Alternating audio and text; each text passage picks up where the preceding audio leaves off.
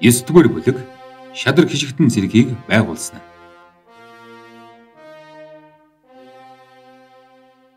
Чингис хаан хувлаад өгөөлрөв. Чи хүчтний хүзүүг мушгиж бөгчүүдийн бүгсийг шороодуулж өгөв. Одоо хувлаа зэлэм зэв сүбэдэ та дөрвөл сайн нохоо мэд идгэлтэй нөхөд мө. Та нарыг хаан жилгээвэл хүр гисэн газарт хүрч хүр чулууг химэг цохиж халд гисэн газар халдаж хад чулууг хаг цохиж цэгийн чулууг будартал цээлийн усыг цалигдал нэргэж нядалж яв. Хувлаа зэлэм зэв сүбэдэ дөрөв нохоогоо зорьсон газартаа явуулаад боорч мугал борхол чулуун дөрвөн хүлэг баатараа дэрэгдээ авч хадгалдах өдөр хамгийн түрүүнд урууд мангуудын цэргийг жорчдоо хууль дээр хоёроор толгойлуулан мордуулвал сая миний сэтгэл бүрнээ амардаг билээ гэж гин. Ховлаачи цэргийн үйл бүгдийг ерөнхийлөн захирч бай гэж сойрхож зарлиг болов. Бас бидүүгүн их дуулуургүй тул би буруу шааж мянганы ноён болгосонгүй. Чи тэрнийг сургаж үз. Тэр чамтай зөвшөж нэг мянганыг захирж явдгаа.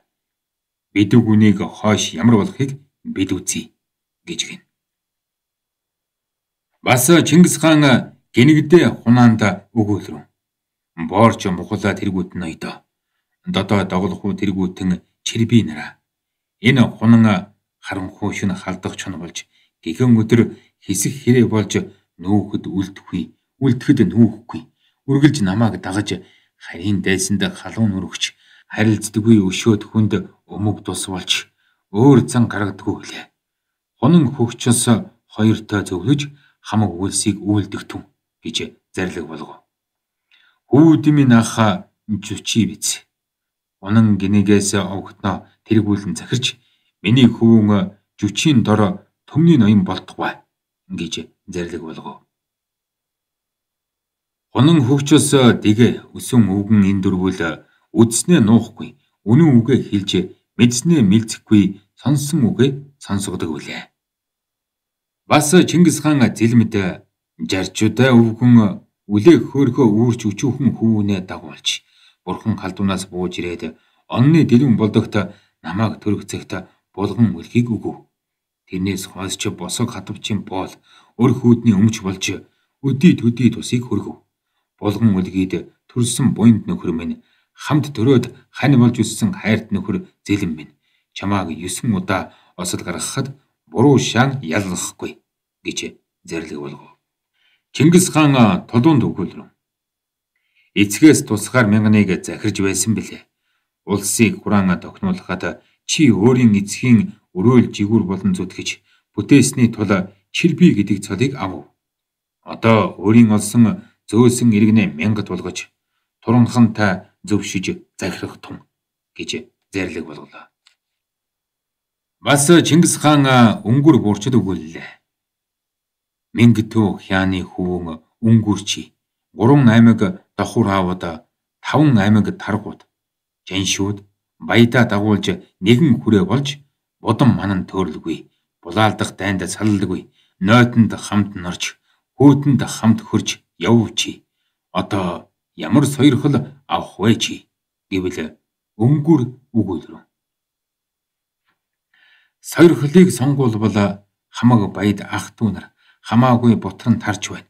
Хаан сойрхол баяд ах トゥ нараа цуглуулан захирыг гэвэл тэг баяд ах トゥ нараа цуглуулж мянганыг чи захирдугай гэж зэрлэг болов. Бас Чингис хаан зэрлэг болроо. Борхол өнгөр та хоёр буурч түгээгч болж баруун зүүн этгээдэд барих идэг түгээж баруун талын хүмүүст байр байраар олгож зүүн талын хүмүүстээ зүй зүгээр өгч идэ хүнсийг түгээвэл Миний хоолоо онгоож сэтгэл амардаг билээ. Өнгүүр борхол хоёр морилон явж олон хүнд идэ сүнгийн баруун зүүн этгээдэд идэ базааж бэлтгэхэд та хоёр толуунтай хамт төвлөн суугаад идэг түгэж байх тун гэж зарлиг зааж өгчээ. Бас Чингис хаан борхолд өгүүлрв. Миний их шихээ худаг борхол хүчүү хөхөөчүү та дөрвийг дөрвсөн иргэний нүүс нутгаас хөдөөнөөс олж хөлдөө бүүвэлж хүмүүжүүлэн тижээж хүзүүнээс чин татаж хүний зэрэг болгож игмээс чинь татаж эрийн зэрэгт оруулж хүүд бидний нөхөр сүүдэр болгоё гэж тижээжээ. Миний ихийн тижээсэн ачийг та нар их хариулан зүтгэв. Борхол надад нөхөр болж хурдан аянд мордож хуртаа шүн тохиолдовч хоол ундгүйгээр хоосон хонуулсан удаагүй. Яаралтай дайнд ямар ч бэрхшээл тохиолдовч шүл дасалдуулж үл алдуулж байсангүй. Өвөг эцгийг минь хорлсон өстөн татарыг доройтуулж өшил өшиж хясал хясаж тэр татар иргэнийг тэрэгний бултаа чацуулж тэрнээс өндөр нуруутныг түүж хидах цагт татарын харгил шар ганцаараа дутааж яваад үлссний тул аргагүй ирж манай ихийн гэрд орж ирээд эдихэм гуй гэсэнд эдихэм гуйвал тэнд суу гэж баруун эсрийн өмнөд үзүрт суулгав. Тэр цагт 5 настай байсан хөвөн толуу гаднаас орж ирээд гэдрэг гүйж гармагц харгил шар босон харайж толууг сугандаа хавчуулж гүүхийн хамт хутга тэмтэрч суглан авахыг завдахад эхийн гэртээ зүүн талд сууж байсан алтан хүүгийн минь аллаа гэж эхийн орлон бахирхыг сонсож гүйн гарч харгил шарын хойноос гүйцэж нэг гараараа үснээс нь зууран барьж нөгөө гараараа хутгыг сугалж байсан гарын барьж угцраад хутгыг алдуулав. Тэр үед гэрийн ард муулзар хар үхрийг тэлэн алж байсан жита зэлэм хоёр алтны дуун сонсоод сүхэ барьсаар улаан цустай хിവэр гүн иржээ. Татарын харгил шарыг мөн тентэн сүхээр цохиж утгаар бүлж аллаа. Алтан жидай зэлэм 3 хөвүүний ам аварсан гавьяаг булаалдахад жидай зэлэм 2 өгүүлрэн. Бид дарив гүн ирж тэрнийг исалсан бол ганц ихнэр алтан юу хийж чадах вэ? Хүүний амийг хорлсон байх үлээ. Хүүний амийг аварсан гавья биднийх болно гэвэл алтан өгүүлрэн. Миний дууг сонссонгүй бол та нар яаж ирэх вэ? Би гүн гүйцэж тэрний сэвлэг үснээс барьж хутгийг сугалсан гарыг татаж хутгийг алдуулсангүй бол жидай зэлэм хоёрыг хурч иртэл хүүний амийг хорлож амьдсан байх шүү. Тэгж хэлбэл гол гавьяа нь алтных болов. Борхулын гэргий эр борхулдаа өрөөсөн арал болон тусалж явсны дээр тулуун амийг аварч тус хөргөв. Бас хэрээдтэй харгалзан илээтэд хатгалдан байлдах цагт өгөөдөн гүрээний судал суманд шархтаж унсанд борхол дээр нь бууж тэрний асгарсан цусыг амаараа шимж хоноод маргааш нь өгөөдөө морь унаж чадахгүй тул урдаа сундал нь тэрч бүрлдсэн цусыг бүлээн уруулаараа шимж ам завжаа улайлгаж ачид хөвөн өгөөдөг амьд минь авчирсан билээ. Ихий минь зовж тэжээсэн ачийг хоёр хүүний амийг аварч хариулв. Борхол надтай нөхөрлөж урайлах дунд минь уухагаа нэмж урагшлан зүтгэж яв. Ор хулыг 9 удаа осол гаргавч яллахгүй болгоё гэж зарлиг болголоо. Бас охин ургаа сойрхол өгье гэв. Чингис хаан өсөн өвгөнд өгөөлрөв. Өсөн, унаан, хөгчс, дэгэ эндэрүүлээ үдсэн сонсноо үлдээж нуулгүй үргэлж хилдэг билээ. Монголын төр ёсонд бихий ноёдыг өргөмжлөх заншил бий. Ахмад үеийн хүнээ бихий болгодог заншилтай тул байран ахын ураг өсөн үгнийг бихий болгоё. Бихий өргөмжлөгдөөд цагаан дээл өмсөж цагаан мор унаж дээд сүрэн сууж он сарыг олж сонсгож байтугай гэж зарлиг болголоо. Бас Чингис хаан хууль дээр анд алалдан байлдах цагт урд тиж ам нээж байлдсан гавья бий тул тэрний хүүд ач нарт өнчдөд олгох өршөөл тусламжийг хүртээсгүй гэлээ. Мөн Чингис хаан цагаан гуагийн хүмүүн нарийн торилд өгүүлрэн.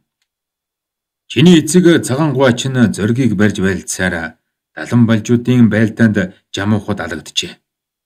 Одоо эцгийн гавьяаг хүртэж өнжтийн тусламжаас авч бай гэсэнд тойрол өгүүлрэн. Миний төрлийн нэг улс нараа олон аймагт хуваагдсан тарсан байна хаан сойрхуул ах トゥ нэг ус нараа цуглуулъя гэвэл Чингис хаан зэрлэг болроо. Тийм бол ах トゥ нэг ус нараа цуглуулж чи ургийн урагт хүртэл захирч бай гэж зэрлэг болголоо. Мөн Чингис хаан сорхон шард өгүүлрүү. Намааг өчөөхөн цагт тайчуудын таргуудаа хариултуг ах トゥ нартайгаа нийлж атаархан барих цагт сорхон шарын хөвөн чулуун Чимба нараа намааг ах トゥ нартаа атаархагдсан ажээ гэж нууж охин хадаанаар асруулж байгаад тавьж илгээсэн биш үү? Чиний тэр ачийг би харанхуй шүн зүудэндээ бодож гэгээн өдөр цээжиндээ сансаар явсан билээ. Дараа нь тайчудаас надад баахан удаж хэрв. Одоо танд сойрхолыг өгье. Ямар сойрхолыг хүсэж байна? гэвэл сорхон шар тэрний хүүн чулуун чимбанаар өгөөлрөв. Бид мэрэгдийн нутаг сэлэнгэд дархан дураар нутгалахыг хүснэ. Бас ямар сойрхол хишиг хайрлахыг Чингис хаан мэддэг вэ гэлээ. Тэгэхэд Чингис хаан нутаг дархалж мэрэгдийн газар сэлэнгээр ургийн урагт хүртэл нутаг орноо эзэмшиж ном сумаа агсаж хорим найрыг хийж хундаг сөнгөө түшилцэж явдаг ба. 9 удаа осолдоход зэмлэхгүй болохыг гэж зарлиг болголоо. Чингис хаан Чулуун Чимба хоёрт сойрхож хэлсэн нь. Урд Чулуун Чимба та хоёрын хэлж байсныг яаж мартах вэ? Чулуун Чимба та хоёр санснаа хэлий гэвэл дутууга гуй гэвэл дам хүнээр бүү хэлүүлж бай. Өөрийн биеэр уулзаж өөрийн амаар санснаа хэлж дутснаа гуйж бай гэж зарлиг болголоо. Бас сорхон шар бата хичлэг та гурван дархан олон дайсанд довтолж олз юм олвол олдсноо бүрэн автгай. Аян ав хийж ангур авбал алснаа бүрэн автгай гэж зарлиг болголоо. Сорхон шар бол тайчуудын төвдөгийн гэрийн хүн. Бадаа хичлэг хоёр бол чирэнгийн адуучин хүн билээ. Одоо миний шадар хорчий болж хуримд хундаг дэвшүүлж дархан эрэхтэйгээр жаргаж явдаг бай гэж зарлиг болголоо. Мөн Чингис хаан Наяа төгөөлрөв. Ширээ төвгөн алаг Наяа хоёр хүүний хамт таргуудаа хэрэл тугийг барьж авчрах замд удахал нугууд хүрээд Наяагийн хэлсэн нь бид хаан эзнээ яахан төвчиж барьж одох уу гэж сэтгэл төвдөхгүй болоод таргуудааг сул тавин буцааж ширээ төвгөн хөвөн алаг Наяа нартай хамт ирж Наяагийн хэлсэн нь бид хан таргуудаа харил тугийг гардан барьж ирж яваад жич төвчин ядаж 50 буцаагаад бид Чингис хаанд хүчээ өгье гэж ирв. Хэрв ханаа барьж ирвэл хан эзнээ барьсан хар зардад яаж итгэх вэ гэх вүлээ. Хандаа халдаж чадсангүй тул тэднийг өөрийн ханаа хайрлах их ёсыг мэдсэн хүмүүс гэж үгийг зөвшөөж нэгэн үйл хэргийг тушаая гэсэн билээ. Борж баруун гарын төмнийг захирах ноён болов. Мухлаа говон болж зүүн гарын төмнийг захирах ноён болов. Одоо Ная төвийн төмнийг захирах ноён болтугай гэж зэрлэг болголоо. Бас зэв сүбэдэ хоёрыг өөрийн олсон зөөсөн иргэнэ мянгад болгож захирах тун гэв. Мөн хон хариулагч дигээд мянгатыг эн тэндээс цуглуулж өгöd мянганы ноён болгов. Мөн модж дархан хүчөөгүүрт өгөх иргэн дутагдсан тул бусад ноёдын албатнараас татаж цуглуулсан иргэнийг жадарны мулхаалхууд зүгээр нийлүүлж хүчөөгүүр мулхаалхуу хоёр нэг мянгатыг хавсран зөвлөж захирах тун гэв. Улсыг байгуулахад зүтгэсэн хүмүүсийг төмний ноёд, мянганы ноёд, зууны ноёд, арвны ноёд болгож сойрхлыг өгөх хүмүүстээ сойрхлоо өгч зарилгийг буулгах хүмүүст зарилгаа буулгаж Чингис хаан зарлиг болров. Урд би 80 хэвтүүл манаачтай 70 шадар хишгтэнтэй байлаа. Одоо мөнх тэнгэрийн өршөөлөөр тэнгэр газрын ивэлэр хүч агуу нэмэгдэж гүр их улсыг хамтад гаж ганц жолоондоо оруулсан тул одоо надад мянган шадар хишгтэнг ялгаж өг. Хэвтүүл хорчин торгуудын хамт бүгд төмөн хүн болгож өгдөг бай гэж зарлиг болголоо. Бас Чингис хаан хишигднийг ялгаж томилох тухай мянганы ноёдод тунхаг зарлиг буулгасан нь. Миний хишигднийг томилоход төмд мянгат зуутын ноёдын хөвүүд сул хүний хөвүүдийн дотроос миний дэргэд тэнцэх бэлэг эрдэмтэй бие сайтайг нь ялгаж оруулдаг бай. Миний шадар цэрэгт орохдоо мянганы ноёдын хөвүүд 10 нөхөр нэг дүүгээ дагуулж бай. Зууны ноёдын хөвүүд 5 нөхөр нэг дүүгээ дагуулж эрдэг бай. 10-ны ноёдын хөвүүд сулаг хүний хөвүүд 3 нөхөр нэг дүүгээ дагуулж эрдэг бай. Ингэхдээ тэд уг газраасаа унлаг морио бэлтгэж эрдэг бай. Миний шадар цэрэгтээ ирэх мянганы ноёдын хөвөөд 10 нөхөд хэрэглэх юма харьяат мянганы дотроос татаж авах түн. Эцгийн өгсөн хов хишиг буюу өөрийн олсон зөөсөн морь юм хэдий байвч өмч хувайлс ангид бидний заасан хэмжээгээр авч бэлтгэж ирдэг бай. 100-ны ноёдын хөвүүд 5 нөхөдтэй 10-ны ноёд бас сул хүний хөвүүд 3 нөхөдтэй мөн өмч хувайлс ангид тэр ёсоор хэрэглэх морь юмаа бэлтгэж ирдэг бай гэж зэрлэг болголоо. Мянгат зуут 10-ийн ноёд олон хүн бидний энэ зэрлэгийг сонсоод зөрчиж давбал чангалан шийтгэн. Бидний шадар зэрэгт орвол цохихон бултарч бидний дэргэд явахдаа бэрхшээвэл өөр хүнийг оруулаад тэрнийг шийтгэж ичнээ хол газар цөлий гэж зэрлэг болголоо. Бидний дэргэд дотн явж суралцъя гэж бидэнд ирэх ардыг бүү хоригл тугай гэлээ. Чингис хааны зэрлэгийг ёсоор мянгат 110-ийн ноёдын хүүдийг ялгаж явуулаад урдын байсан 80 хэвтүүлийг 800 болголоо. 800 дээр нэмж 1000 болох тугай гэв. Хэвтүүлд орох хүмүүсийг бүү ятгахж хоригл тугай гэж зарлиг болголоо. Хэвтүүлийг их нээврүүн захирч мянганы ноён болтугай гэж зарлиг болголоо. Бас 400 хорчныг томилж, хорчныг зэлмийн хөвөн 9-тэй ахалж, түгээгийн хөвөн бихүүдээтэй зөвлөж захирдгаа гэв. Торгууд хижигдэн нарыг дөрвөн ээлжээр манах болгож, 9-тэй нэгэн ээлжийн хорчныг захирч, бүхээдээ нөгөө ээлжийн хорчныг захирч, хорж худаг 3 дугаар ээлжийн хорчныг захирч, лавлах 4 дугаар ээлжийн хорчныг захирч явдаг бай. Ном сум агсан хорчин торгон цэргийг ийхүү захирч явдаг бай. Хорчныг мянга болгож, 9-тэй захирч байдаг бай гэж зэрлэг болголоо. Өөртөө өөлн чирбийн захирж байсан торгууд дээр нэмж мянга болгоод борчийн ураг өөлн чирбээр захируулъя. Бас нэгэн мянган торгуудыг Муглаан ураг бухаар захируулъя. Илуугаан ураг альчидаагаар нэгэн мянган торгуудыг захируулъя. Нэгэн мянган торгуудыг додоо чирбээр захируулъя. Бас нэгэн мянган торгуудыг доголгүй чирбээр захируулъя. Нэгэн мянган торгуудыг чорчдаан ураг чинаагаар захируулъя. Нэгэн мянган торгуудыг алчин ургаас ахуй дайгаар захируулъя. Нэгэн мянган баатар цэргийг шилж архаа хасраараа захируулад энгийн өдөр ээлжлэх торгон цэрэг болгож хадгалдан байлдах өдөр хамгийн түрүүнд баатарлуулан явуулъя гэж зарлиг болголоо.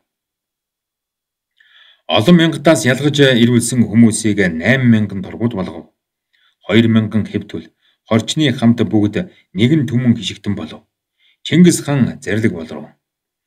Бидний шадар төмөн хишигдэнгэ бэхжүүлж их голын цэрэг болгоё гэж зарлиг болголоо.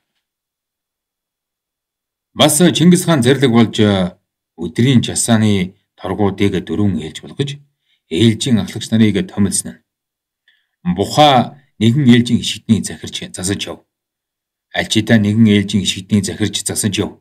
Додоо чирби нэгэн ээлжийн хишигднийг захирч засаж яв. Доголгүй жирби нэгэн ээлжийн хишигтнийг захирж засаж яв. Энэ дөрвөн ээлжийн хишигтнийг захирах ахлагчдыг томилж тунхаг зарлиг буулгаад бас ээлжийн ахлагчид харьяат хишигтнээ жагсааж ээлж хишигт оруулаад 3 хоноод солилцуулна. Хишигт хүн ээлжээ таславал тэр ээлж тасалсан хүнийг 3 бирээ занчи. Тэр дахин ээлжээ таславал 7 бирээ занчи. Бас тэр хүн бие ирүүл ээлжийн ахлагчдын зөвшөөрлгүйгээр 3 дугаар удаа ээлжийг тасалбал 37 бэрээ занчаад бидэнд бараа болохоос бэрхшээлсэн этгээд гэж үзээд ичнээ хол газарт цөлий гэж зарлиг болголоо. Ээлжийн ахлагчид 3 ээлжийн хишигтэнд тухай бүр энэ зарлигийг сонсгож байтугай. Эс сонсгосон бол ээлжийн ахлагчид буруу хүлээн. Зарлигийг сонссон байтал зөрчих буюу Зарлагаар тогтоосон ээлжийг таславал хижигтнийг буруу шаан шийдэх гэж зарлиг болов. Ээлжийн ахлагчид гагцгүй ахлагч гэсэн төдийгөөр хамт манаж байгаа хичигтнийг миний зөвшөөрлгүйгээр бүү шийтгэх түн. Им үйлцэн хүнийг хэлэх түн.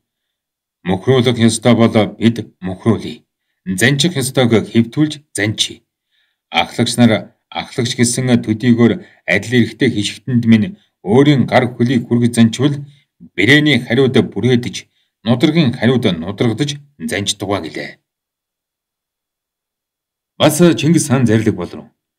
Гадаад мянганы ноёдоос миний хишигтний ерийн хүмүүс эрхэм гадаад зууны ноёд 10-ны ноёдоос миний хишигтэн хөтөж эрхэм тул гадаад мянганы ноёд миний хишигтэнтэй тэнцэж хэрэлдвэл мянганы ноёныг шийтгэе гэж зарлиг болголоо. Мөн Чингис хаан зарлиг болж ээжийн хишигтний ноёдод зарлиг тунхагласан. Хорчин торгууд хишигт орж өдрийн хамгаалагчид зүг зүгтээ мөр мөртөө явж наран шингэхээс өмнө хэвтүүлд зайлж гадна гарч хонтгоо. Биднийг шүн хэвтүүлийн цэрэг хамгаална. Хорчин ном сум буурч нар аяг саваа хэвтүүлд тушааж өгöd гарч хонтгоо. Гадна хонсон хорчин торгууд буурч нар бидний шүл идэтэл уяаны тэнд хүлээж угаад хэвтүүлд мэдэгдэж биднийг шүл эзний дараа тотогш орж хорчин ном сум авч торгууд суурэ эзэлж буурч нар аяг саваа авч